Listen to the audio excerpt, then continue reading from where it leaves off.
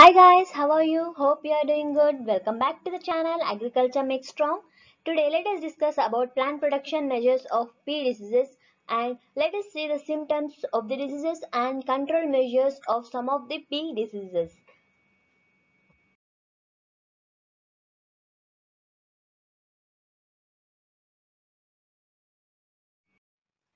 Today I am going to explain about the plant protection measures and I am going to give a brief introduction of some of the diseases which is seen in the pea crop and some of the control measures which are followed to that control the diseases. And let us see about the diseases. First one is disease wilt.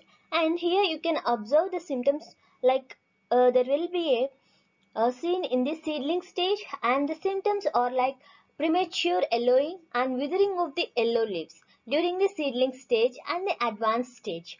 Uh, some of the disease control measures are we should take the seed treatment with thiram 2 grams per 2 grams uh, plus carbendazim 1 gram per kg of seed and also adopt the crop rotation.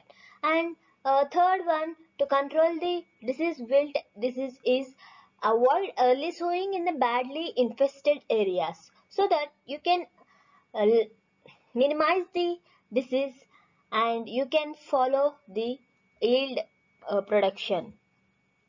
And let us see about the powdery mildew. Here, if you observe the leaves of the pea, here the patches of the white are observed on the leaves and also on the stem.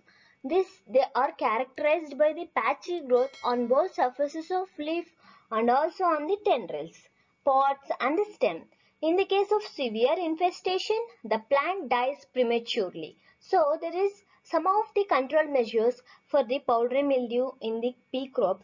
First one is to adopt the resistant varieties like uh, some of the Pant P5, Malviya 15, JP885, HPU2 etc and also by spraying with Karathane at the rate of 1 ml per liter or vegetable sulfur at 3 grams per liter or Dinocap at the rate of 1 ml per liter of water and repeat after 10 to 15 days. It is necessary if it is necessary and avoid the late planting and after the harvest collect the plants left in the field and burn them so that you can you can decrease the disease of powdery mildew in the crop. And coming to the next, rust. Rust is this disease which you can uh, caused by the, you can see that it is caused by the fungus. And the stem of the plant becomes small form and the affected plant dies out. And all the green parts of the plant are affected. And some of the yellow spots have having the aecia in the round or elongated clusters. Then the iridos, iridopustules develop which are powdery and light brown in appearance. And some of the control measures are like after the harvest, the affected plant's trash should be burned. Spray the crop with mancozeb 75 vegetable self, wettable powder at the rate of 2 grams per liter of water. And this is the symptoms of the rust disease if you observe in the image. And coming to the next one, the insect pest pea stem fly. Let us see about the insect pest of the pea crop. First one is stem fly and the maggots of the insect damages the internal tissue and consequently the entire plant dies. The damage is more acute when the crop is sown early and some of the control measures if we follow for the stem fly is like mix 30 kg per hectare carbofuran Furadan at the rate of 3% granules or 10 kg per hectare forate Thimet 10% of granules in the soil before sowing of the crop and avoid the early planting. These are some of the measures should be followed. And coming to the next one, leaf miner. Larvae of the insect makes tunnels in the leaf causing the severe damage.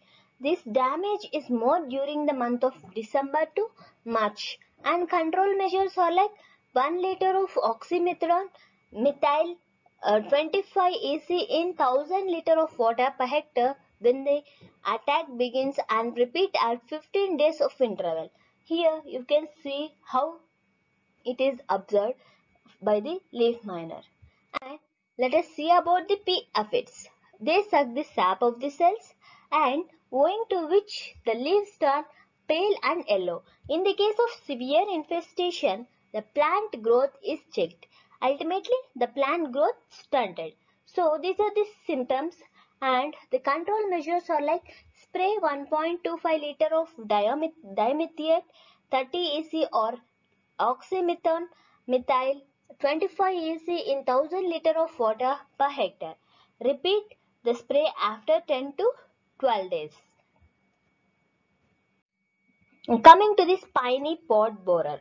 It is a polyphagous insect and the caterpillar makes holes in the pods, feed upon developing seed. Late varieties are prone to more damage than the earlier ones and care should be taken that uh, late varieties should not be grown and some of the control measures are like picking of green pods should be done 15 days after spraying and spray of 1.25 liter of cypermethrin in 1000 liter of water per hectare is safe and effective.